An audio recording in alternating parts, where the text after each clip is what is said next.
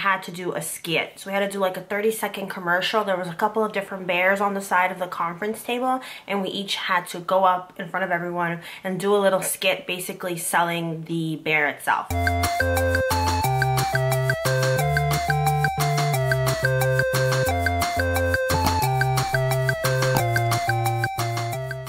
Hey everybody, welcome to my channel. I wanted to do something a little bit different today. A couple years ago, I used to work at Build-A-Bear Workshop in Manhattan in New York City, and I wanted to talk about my experience because in terms of retail jobs, I definitely feel like it was one of the better ones that I had. So this was years ago, and obviously this was prior to the pandemic, the shutdown. So they might not be hiring currently at the moment, who knows. This is just gonna be a resource once things are back to normal. So when I arrived at Build-A-Bear for my interview, it was actually a group interview. So there was a couple other people who were also waiting on the sales floor to go in and have an interview. So once it was time, we all went into a big conference room. We all sat down with the general manager who was super nice. She basically asked each of us to say a couple words. We all went around the table, all that stuff.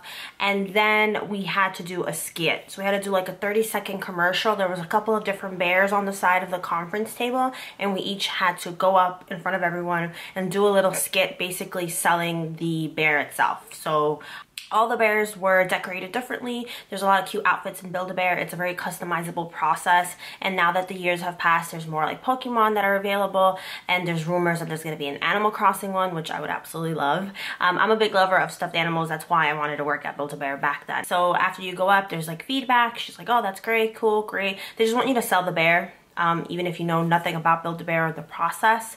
Um, so after that, we went back to sitting down and it was more questions like they like to know your past experience um, with other jobs or times where you've had difficult customers basic questions like that. What's your biggest weakness? Um, it's a fun interview. It's a very good to play off of everyone else's answers. So that was my first time i think having a group interview. Normally it's just solo. I liked it except for the commercial. Um, it's cheesy but you just have to do it. So in the end not everyone was hired. This was during the holiday season. So i think like four or five of us out of like eight were hired.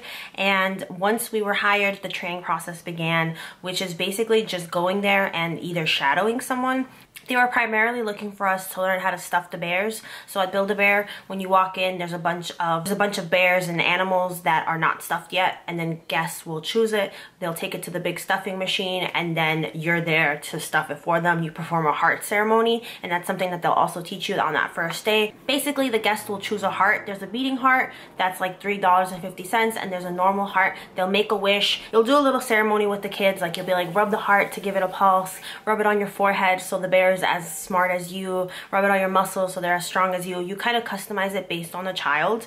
Um, at least that's what they teach you to do. And then they make a wish, they kiss it and they place it in the bear and then you sew it up. And there's also customizable options like they can choose a scent. And when they choose a scent, it's like this little heart shaped thing that you open, you rub on the outside of the bear and you put it in the inside of the bear as well. They tell you to pitch it as um, it being super long lasting like the scent like there's cotton candy scents there's really fun weird ones like popcorn and pizza but I don't think that scent lasts a long time. That's the only thing I don't like about Build-A-Bear is that they make you upsell so they want you to add either a sound which could be your own recording or just like a pre-recorded sound like from Disney like Frozen's Let It Go or like Paw Patrol or Pokemon they want you to upsell. So you want to ask, oh, would you like to add this? Would you like to add this? And sometimes they want you to give it to the person first so they can try it out or so the child will hear it and will want it.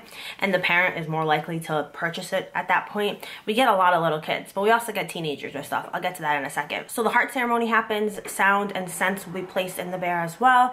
And then you're also learning how to sew the bear up. Most of the bears have strings that you pull in a certain way in order to close the bear up. This was the hardest part for me was trying trying to get that down because other bears don't have anything like that. You actually have to sew it. So you're given a needle and thread and I never got the hang of it. I'll be honest. I wasn't there for too long anyway, but I never got the hang of the sewing part, especially because you have someone there waiting for you. So of course you're engaging in conversation as you're sewing the bear up, but you know, you want to make sure you're doing a good job. You want to make sure you're not taking too long because there's going to be a long line, especially during the holiday season. That line was endless. Like it never stopped being a line, um, which is good because it makes time go by faster, sort of, but it's also hard because um, I think you just get tired. I got of just sewing nonstop, stuffing these bears. When you're stuffing it, it's a big, it's like a pipe that goes into the back of the stuffed animal and you press it down with a pedal or the child will press down the pedal and you're, sometimes you get fluffed, which basically means that either you accidentally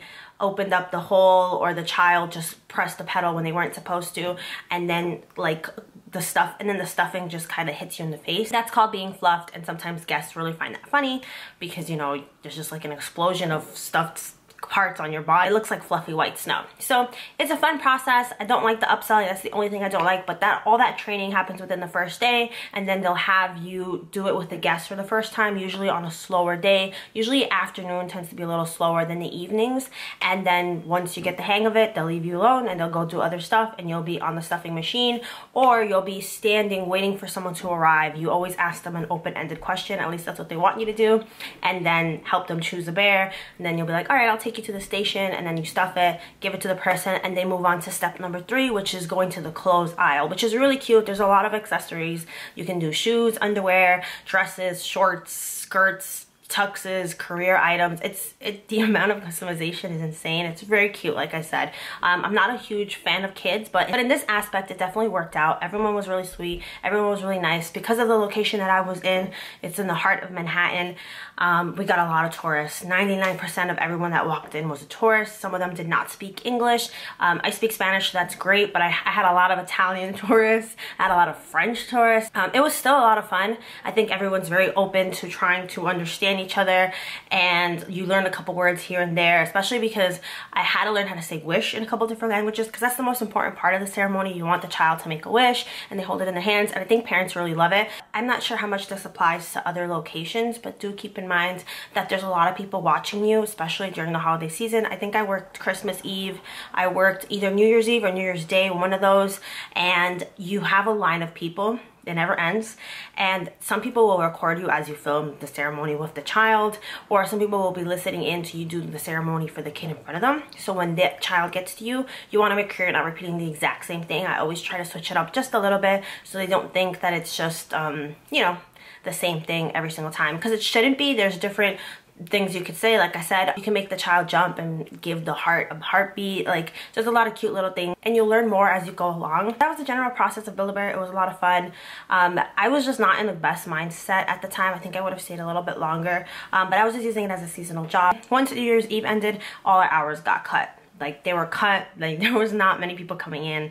Um, it was just for those holidays that it was just non-stop people. I think the following holiday would have been valentine's day but i left before that even came to be. But it's a lot of fun. It's just a really cute job and if you love kids it's great. I never had a chance to work at the register because really all they needed was stuffers. At the register though i know that you do have to pitch um, a gift card. So anyone who makes like an order of $20 or more you're supposed to tell them hey um, you're eligible for this promotion where you get a $10 gift card that you can use at any time. It doesn't expire um, and all you have to do is pay five dollars. There's different ways to pitch that. Again i never had to do that but you're you're ranked on that. Like that helps you out as a um, worker there if you sell out of those gift cards and they like they'll highlight your good work if you manage to get enough people to sign up for that blah blah blah. So that's cool. Again I was never on the register. I didn't have to do it. Even though I do have register experience it wasn't at Build-A-Bear so overall if you're looking to work at Build-A-Bear I think it's a great job. It's super duper cute. Like I said the only thing I don't like is the scent. They want you to tell the person that it they last six months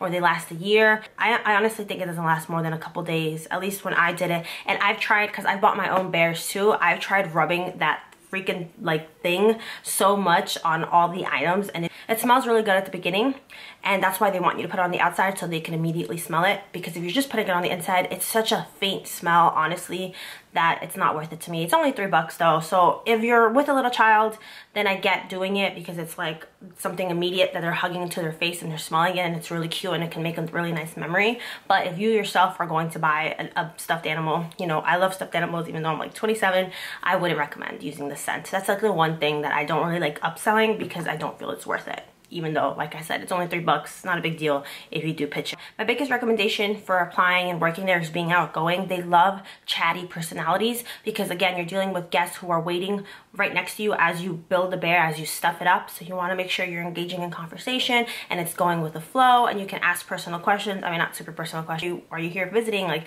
they want you to have like a super interactive experience. That way it's more impactful for the guest. So if you show that you're outgoing and you're a people person, it's definitely gonna help you out to get the job. So that being said, if you made it to the end of this video, thank you so much for watching. I really appreciate it and I will see you very soon with another video.